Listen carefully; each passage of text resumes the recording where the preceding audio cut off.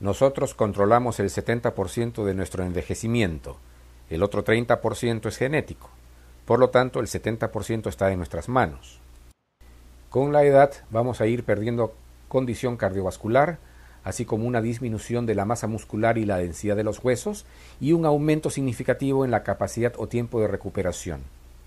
Conjuntamente con una buena dieta balanceada y un balance emocional, con la práctica del ciclismo podremos mejorar una capacidad de vida muy elevada.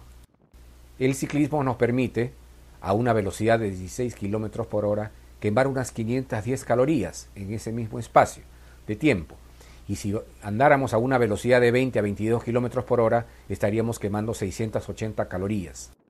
Para esto debemos de concebir un buen plan de pedaleo. Este debe contemplar el pedalear no menos de 4 o 5 veces por semana, dejándonos uno a dos días para lograr la recuperación del caso. A fin de no ver afectadas nuestras rodillas, debemos de ubicar el asiento de la bicicleta en una posición adecuada. El asiento puede desplazarse hacia adelante o hacia atrás algunos centímetros para lograr un adecuado balance del peso entre el cuerpo y el peso eh, que descansa sobre los brazos y el manubrio de la bicicleta.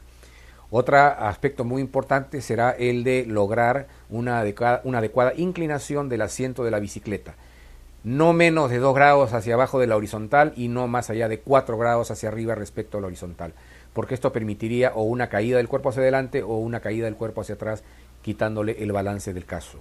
Otro aspecto importante también será eh, que el pedal quede de una manera u otra solidario con el, zapato del de, ciclista este puede ser bajo eh, un sistema de eh, soporte plástico o, de los clets metálicos para que eh, la bola del pie o de la planta del pie descanse siempre sobre el eje de la bicicleta y permita un pedaleo adecuado.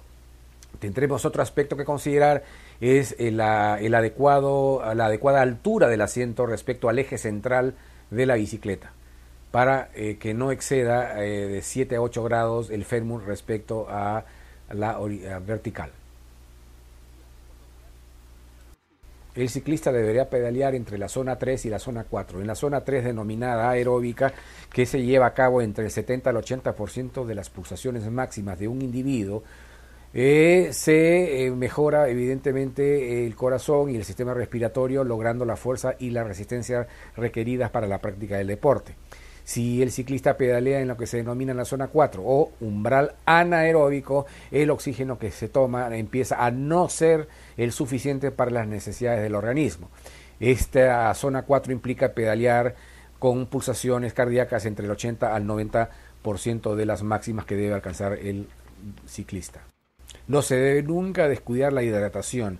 En un caso de pedaleo constante, el ciclista ha de consumir entre tres cuartos a un litro al menos y generalmente es recomendable que sea eh, a un líquido que, eh, que, se, que esté a temperatura ambiente y no a temperaturas frías porque puede generar una descompensación en el organismo.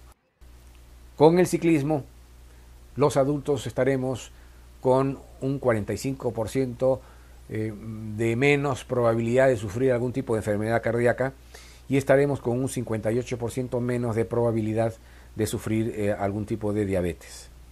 Lo que va a ser tremendamente importante es portar además todo el equipo de seguridad adecuado, siendo el principal el casco, los guantes para evitar que las manos se resbalen sobre el manubrio y anteojos de protección de la contaminación del ambiente. Realicen la práctica tomando en consideración todas las medidas de seguridad y con el respeto también a nuestro medio ambiente. Buena suerte.